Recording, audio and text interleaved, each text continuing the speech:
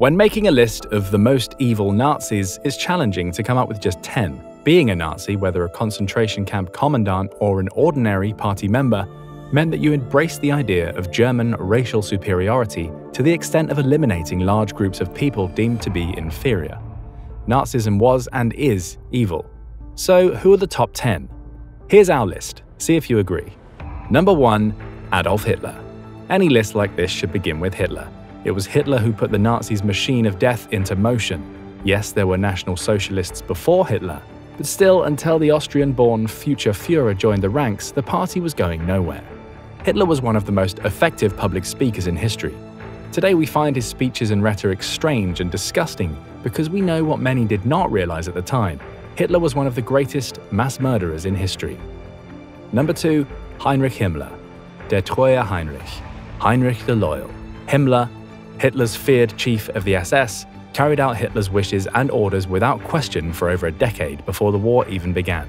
It's impossible to believe that he would have done this without the Fuhrer's approval. The Nazi organization responsible for administering the death camps was the SS. Himmler also oversaw the special action killing squads that shot over a million people before the extermination camps were completed. Himmler oversaw it all. Number 3. Josef Mengele. Dr. Josef Mengele embodied the evil generated and encouraged in Nazi Germany. But unlike others on the list, Mengele was actually in the camps, killing people with his own hands. He is the most well known of the evil cadre of Nazi doctors who carried out sadistic medical experiments on the prisoners of Auschwitz. He is also one of the many officers responsible for selecting arriving Jews for either work or immediate death in the gas chambers. Number 4. Reinhard Heydrich.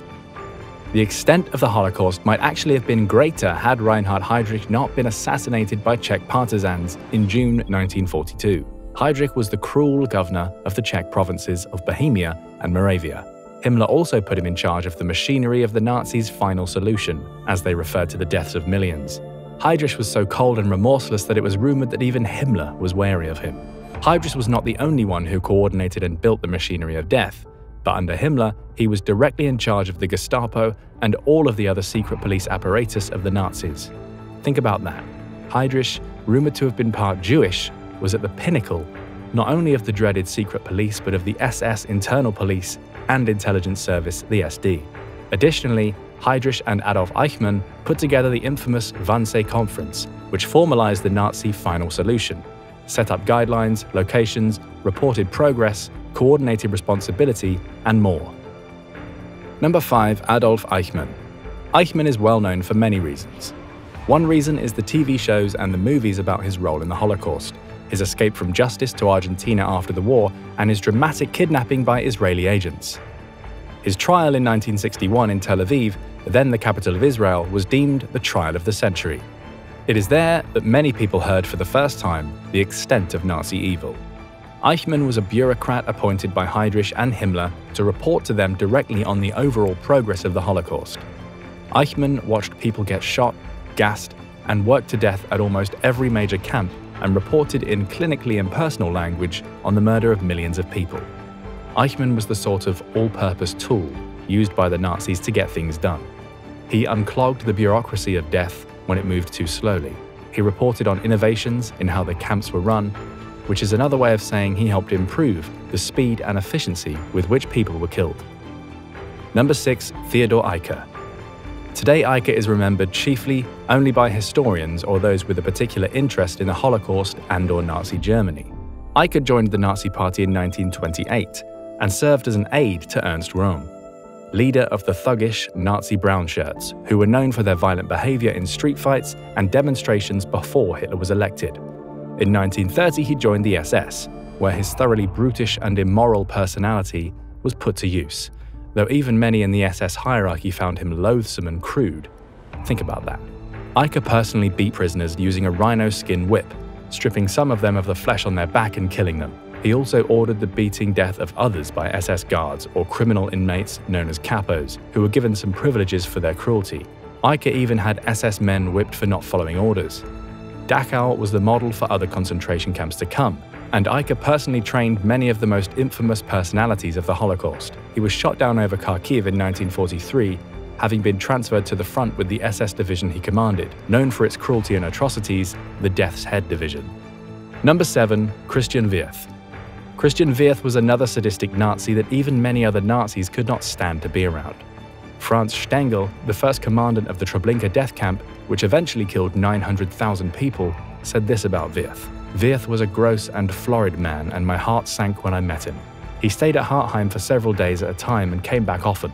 When he was there, he addressed us daily at lunch, with an awful crude language.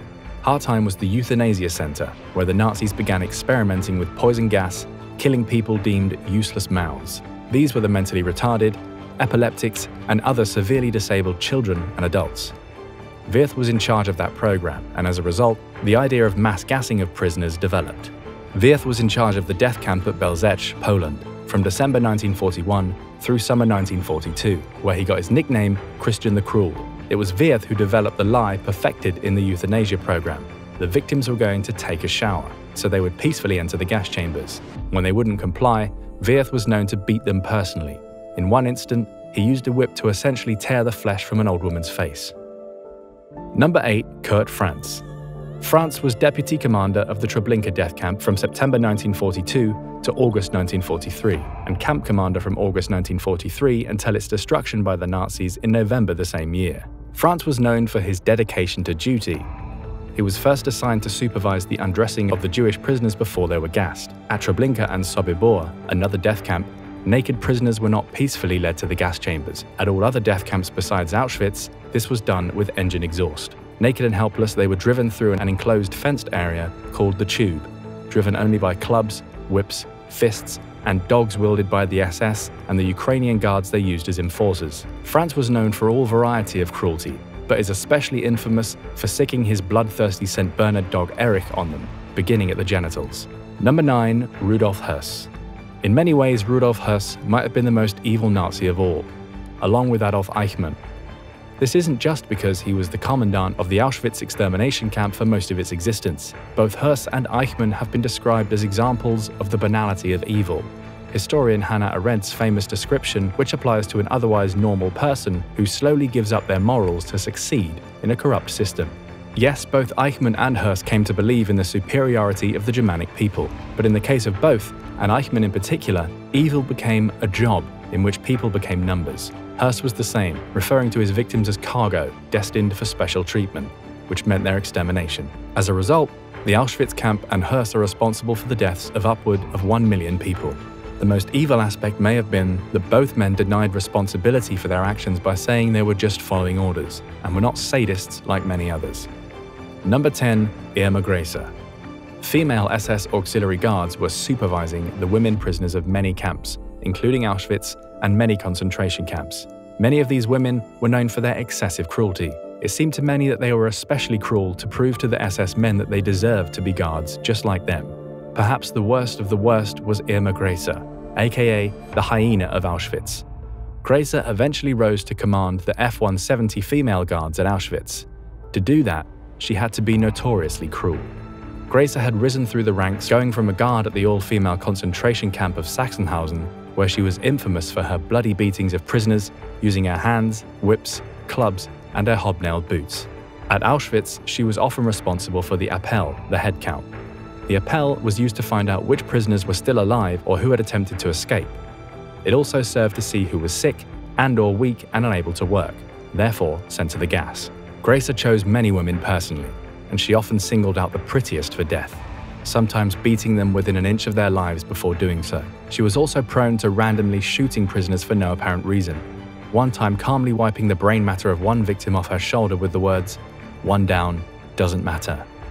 After the war, she was tried as a war criminal and hung by the British. She was 22. And here you have our list of the top 10 most evil Nazis. We hope you enjoyed our video. Please leave a comment down below about your thoughts and don't forget to like today's video subscribe to the channel as an offering to the gods of the algorithm. We'll see you in the next video. Thanks for watching.